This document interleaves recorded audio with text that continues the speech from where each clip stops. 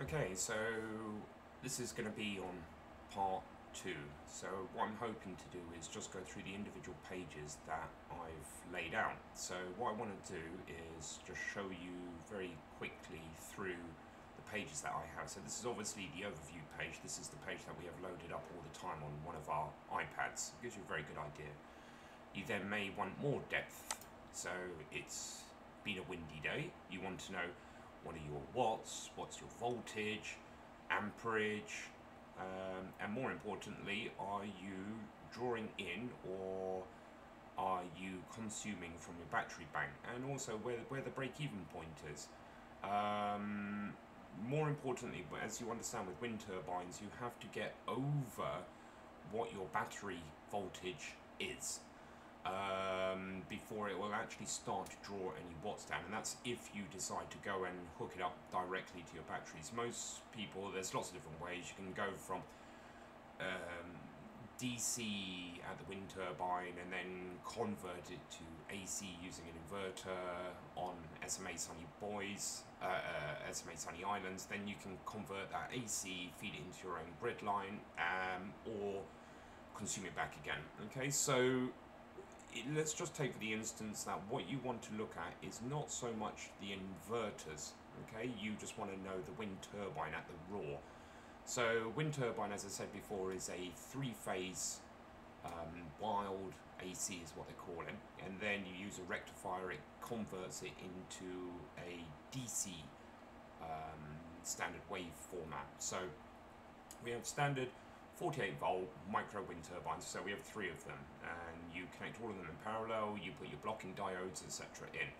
So really all this is looking at is what is the wind turbine producing, not how is the energy inverted and then pushed into AC. We, we don't want to know all of that. All we want to know is how are they doing.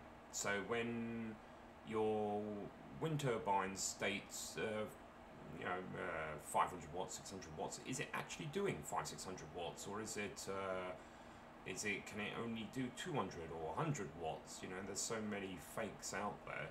So this kind of collated data is basically what it is is done for. It's to take the raw data stream um, from the wind turbine. So we have something that is very, very usable data. Um, you know, for, for, for what we want to look at and in real time. So what you're looking at is something that has a refresh rate of one second as well.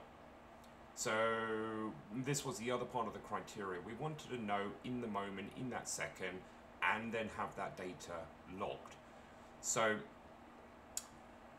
you can see at the bottom there is um, all the wind turbines, it gives me the peaks, its troughs, its falls, it's telling me as well what my kilowatt hours are just for the wind turbine per day, excuse me, and over the duration of the day, um, you know, I can look down and say, well, at 6am the production was uh, next to nothing, at 136 watts.